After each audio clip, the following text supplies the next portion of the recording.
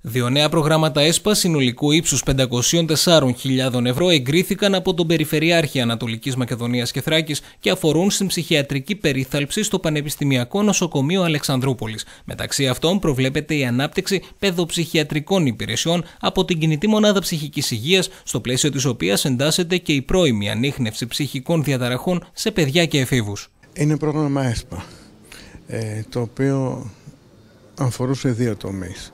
Το ένα την ανάπτυξη παιδοψυχιατρικών υπηρεσιών στην κοινότητα με σκοπό την πρόληψη ε, ψυχικών νοσημάτων και την έγκαιρη διάγνωση και έγκαιρη αντιμετώπιση τους και το δεύτερο αφορά ε, ψυχιατρικές υπηρεσίες κατοίκων είναι μια επέκταση του προγράμματος της κινητής μονάδας ψυχιατρικής περίθαλψης που ήμασταν οι πρώτοι, ο νομός, την εποχή που ήταν καθηγητής ο Παναγιώτης Σοκελαρόπουλος, ε, που είχε εφαρμόσει.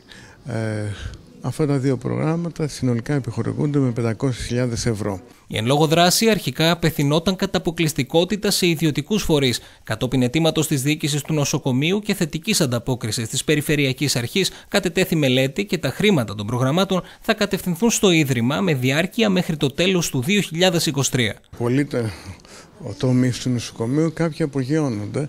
Ε, και κοιτώντας τα στατιστικά, που τα κοιτάμε μια φορά το χρόνο, ε, πέφτουμε σε έκπληξη. Δηλαδή τα κοιτούσα τώρα πρόσφατα και λέω καλέ κάναμε τόσα πολλά πράγματα. Πέτυχε τόσα πολλά το νοσοκομείο εν μέσω κρίσης και όταν λέω το νοσοκομείο δεν εννοώ η διοίκηση αποκλειστικά γιατί εντάξει χρειάζεται το στρατηγικό σχέδιο αλλά δεν έχεις τους πολεμιστές τη μάχη τη χάνεις. Οι πολεμιστές δίνουν τι μάχε, δηλαδή το προσωπικό του νοσοκομείου, είτε ιατρικό, είτε νοσηλευτικό, είτε διοικητικό, είτε τεχνικό.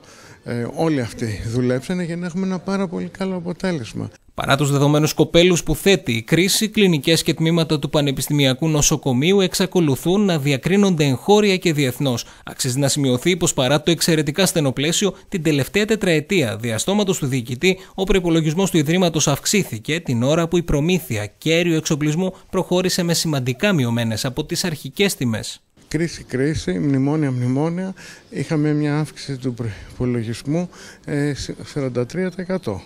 Ε, την τελευταία τετραετία. Παρόλο που ταυτόχρονα είχαμε μια μείωση τιμών σε πάρα πολλά πράγματα. Ε, για παράδειγμα, ο πρόσφατος διαγωνισμός για τους ξενικού τομογράφους η τιμή έπεσε κάτω από 50%. Για το σεφανιογράφο, ένα 200 ήταν η τιμή όταν ξεκινήσαμε και πετύχαμε να το πάρουμε 600.000.